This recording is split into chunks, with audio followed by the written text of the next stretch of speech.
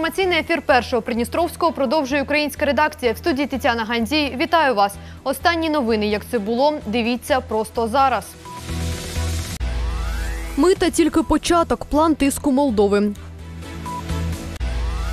Голокост Придністров'я пам'ятає. День Святої Тетяни. Студентське братство святкує. Столичний басейн після ремонту. Відкриття скоро.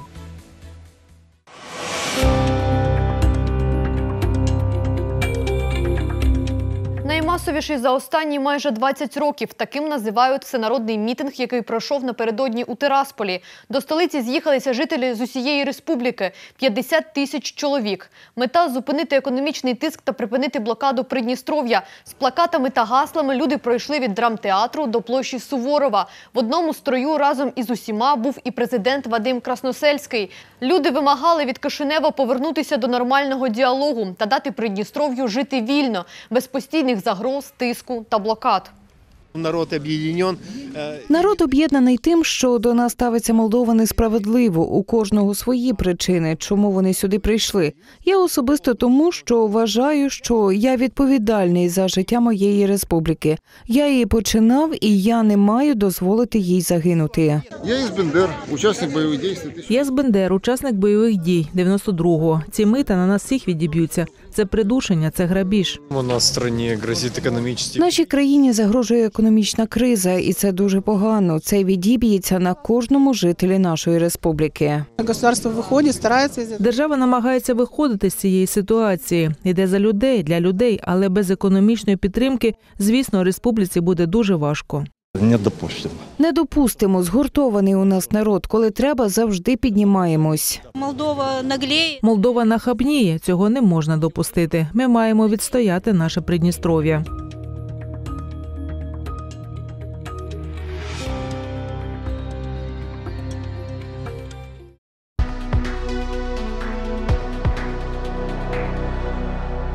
От таможенной пошлины вы прогнозируете, что будет 100-120. 100-120. Ну, они тоже, в принципе, То такие же это- прогнозы. это 5-6 миллионов 5-6 евро. миллионов евро. Это, в принципе, небольшая сумма.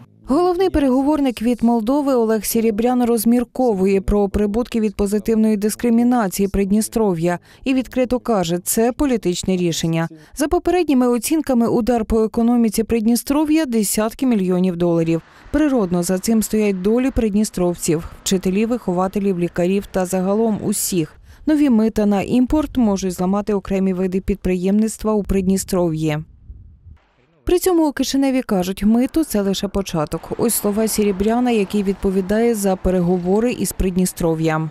Это не экономическое, это политическое решение. Потому Це не что економічне, це всё, політичне що рішення, тому що це все, що веде поступово до реінтеграції Молдови. А ми це не приховували. Ми весь 23-й рік говорили про те, що ми почнемо з митного законодавства, і ми говорили, що першим кроком буде митне законодавство, потім податкове. Третій крок вже на фінансовому рівні. Фінансову блокаду Молдова вже розпочала. У 2019-му заблокувала рахунки наших підприємств у своїх банках. На прохання Молдавського нацбанку у Придністров'ї закрили міжнародні платіжні системи.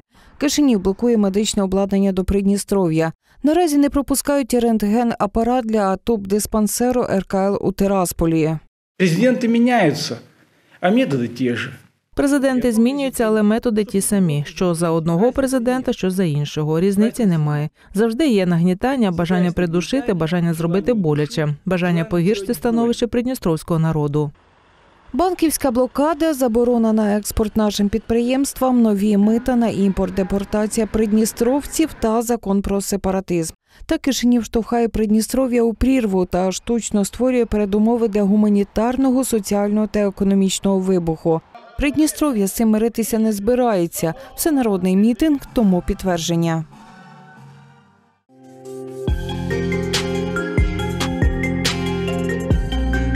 Депортація придністровців новий тренд політики тиску Молдови. Кілька днів тому додому у Придністров'ї не пустили голову Тираспольського суду Ганну Мамєй. У Кишинівському аеропорту у неї відібрали паспорти та відправили до Росії через Єреван.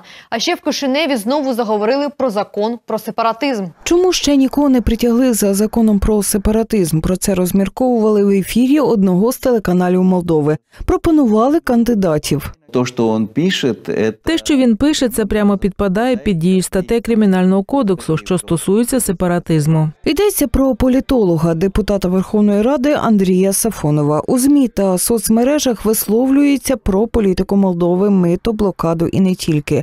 Кишиневу, зважаючи на все, така свобода слова не до душі. Я с самого начала сказал, что это Я одразу говорив, що цей закон є абсолютно нелегітимним. Це просто засіб тиску, і головне ще й спроба зриву переговорів. У будь-якому випадку у нас є своя позиція. Ми її однозначно будемо відстоювати. Я захищаю інтереси своєї держави, тому використовуючи свободу слова, свободу інформації, я це робив і робитиму. Кишинів почав застосовувати нові методи депортації. Без обґрунтувань додому не пустили голову Тираспольського суду Ганну Мамій та колишнього держслужбовця Олександра Наварича. Їх депортували до Росії через Єреван. я полагаю, Я вважаю, зараз готується ціла серія інформаційного тиску, заходів, які покликані змусити нас замовкнути. Але я думаю, якщо цього не вдалося зробити за 33,5 роки, то навряд чи це вдасться і зараз. Молдова продовжує порушувати права придністровців, а тепер позбавляє її дому. Дайте нам спокій, дайте нормально жити. Цього, зокрема, напередодні вимагали від Кишинева десятки тисяч людей на мітингу у Тирасполі.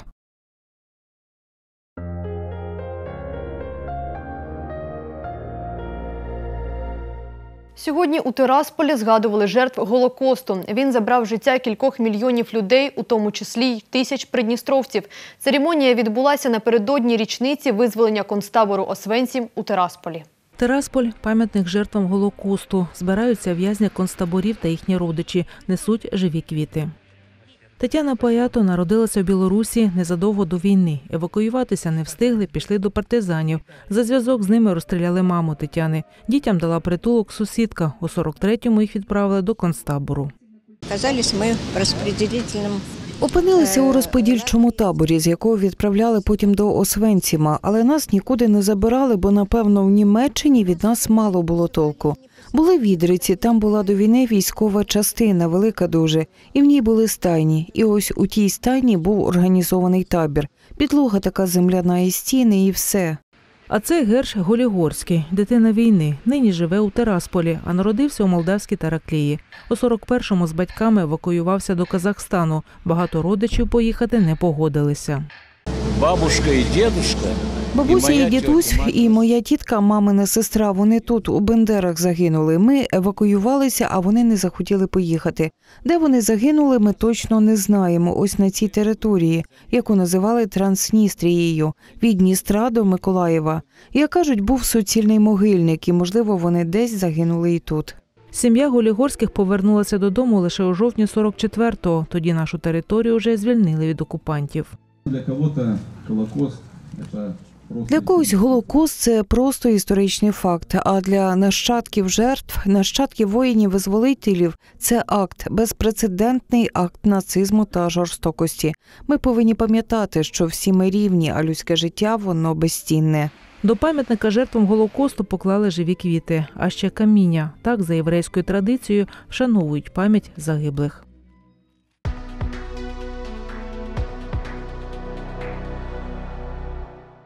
За комуналку дорожче. Це стосується громадян, які живуть у Придністров'ї, але не мають паспорта ПМР. Верховна Рада прийняла поправки до бюджету 2024 одразу у двох читаннях. Підвищені тарифи не торкнуться тих, хто має радянський паспорт. Инициатива э, предполагает сохранение э, действующих э, льгот по жилищно-коммунальным услугам э, для граждан Приднестровской Ініціатива передбачає збереження пільг щодо житлово-комунальних послуг для громадян ПМР та осіб, які отримали статус біженців. Інші категорії громадян, які раніше отримували ці пільги від держави, платитимуть за житлово-комунальні послуги за економічно обґрунтованими тарифами. Ці тарифи в будь-якому разі нижчі ніж у сусідній державі, але бюджет сьогодні з урахуванням недонадходжень, у тому числі пов'язаних із прийняттям низки рішень у Республіці Молдова, не може дозволити собі забезпечувати відшкодування пільг не громадянам ПМР.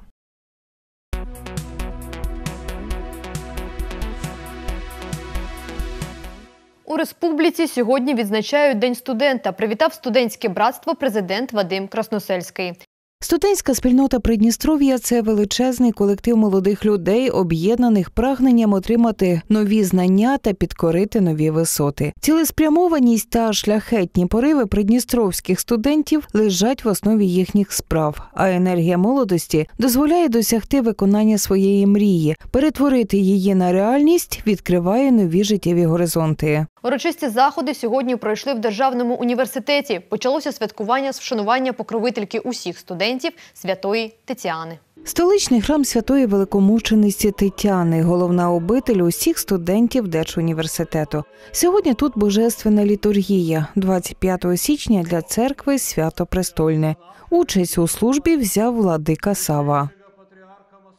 Тетяна покровителька усіх студентів. Для того, щоб навчання давалося легко, вважається, що у цей день потрібно обов'язково відвідати службу у храмі. Студенти досі запалюють свічки і моляться святій. Ми приходимо в храм, щоб попросити. Ми е, приходимо в храм, просимо святу Тетяну нам допомогти, надати сил, надії і впевненості в тому, що у нас вийде добре скласти сесію і все, що ми задумали. Я пришел для того, чтобы отпраздновать День Татьяны. Я прийшов, щоб відсвяткувати День Тетяни. Вона наша покровительниця, захисниця. Усім жінкам, дівчатам, які звуться Тетянами, хочу побажати здоров'я. А якщо вони студентки, то бажаю гарно скласти сесію. На службі у храмі і викладачі університету серед прихожан ректор вишу. Желаю профессорско-преподавательской корпорации. Бажаю професорсько-викладацькій корпорації нашого найстаршого вишу, щоб Господь зміцнював вас в вашій добрій справі, на благо просвіти всіх тих, хто потребує ваших знань, щоб Господь їм давав розум за молитвами святої мучениці Тетяни, щоб кожен з них в своїй праці проявив свої особливі діяння в служінні батьківщині, народу. Бог вам усім поміч і зі святом. Далі спецгасіння конвертів. Їх випустили на честь святої Тетяни. На конверті зліва церква. У верхньому правому куті віньєтка з ображенням ікони святої мучениці. А ще владика Сава вручив почесні церковні нагороди.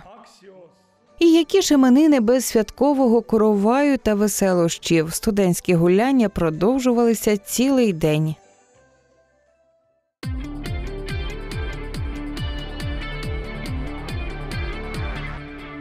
Олена Дєнова у сім'ї перша педагогиня. Стати вихователькою мріяла з малку. Надо было устроить ребенка в детский сад. Треба було влаштувати дитину у дитячий садок. Я хотіла просто прийти помічником вихователя, щоб бути поряд з дитиною та мати роботу. А мені запропонували вихователем, так і залишилася вихователем. Це ніби мрія була дитинства, і вона збулася. Моя мама мною пишається і каже, що ти свою мрію вже здійснила. Олена 25 років пропрацювала в одному дитячому садку. Нині заступниця завідувачки. Сейчас у нас эта неделя домашние животные. У нас цей тиждень тема домашні тварини. Я вже підготувала такі картини для вихователів. Вони великі. На них не просто тварини, а й ферми. Зараз такі картини не знайти. До дітей треба йти з душею. Без душі краще не йти у цю професію. Це ось такі цікаві ігри, за допомогою яких дитина розвиває свою мову і може спокійно скласти будь-яку розповідь. Стопами Олени пішла її дочка Катерина. Я нашла своє діло. Я знайшла свою справу. Це те, що я й люблю. Я можу про роботу говорити годинами, тижнями. Я можу тут затримуватися. Я можу з дітьми перебувати 24 години на добу. Я люблю дуже дітей, і мені з ними комфортно. Катерина Лунго, мама чотирьох дітей, каже, її донька планує продовжити справу мами та бабусі.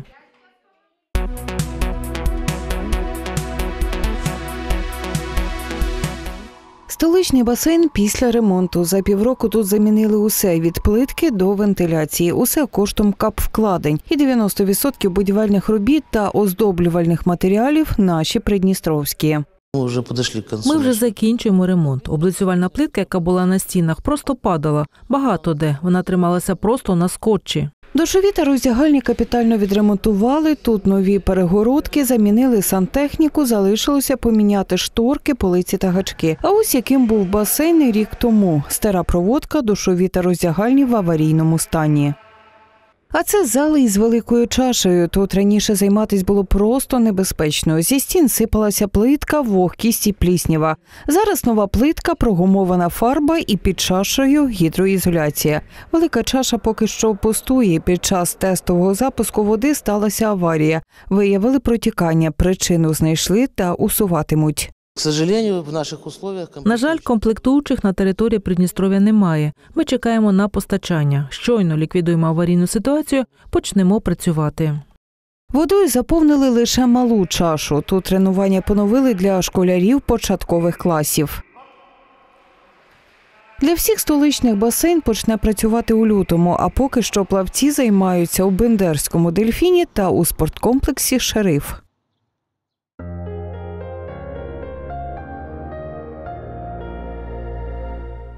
Державний заповідник Ягорлик. Саме тут висадився десант добровольців Зелена планета. Це учні другої добосарської школи. Вони привезли корм, годівниці та шпаківні для птахів заповідника.